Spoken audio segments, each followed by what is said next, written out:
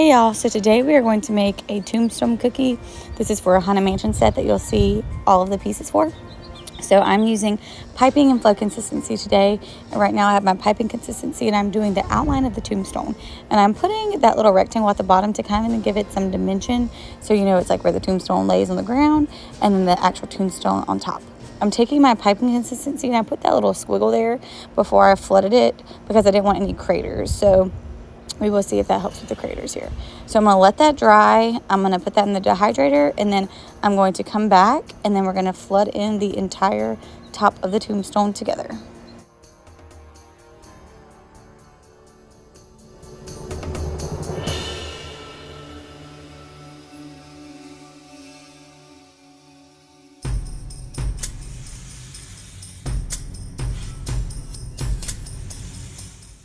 After I flood it, I'm gonna just fill in the outlines, make sure it's in all the corners and creases of the cookie.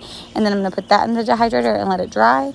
And then I'm gonna come back and I have some piping consistency black icing and we're going to write on it. So I'm using my projector, my favorite tool, and I'm just writing on this cookie and it says, I do and I did, you know, kind of give that little spooky vibe. So I don't show it in this video, but I also took some luster dust, some black luster dust, and just dusted it around the edge of the tombstone to kind of make it look dirty. And then now you'll see the finished product.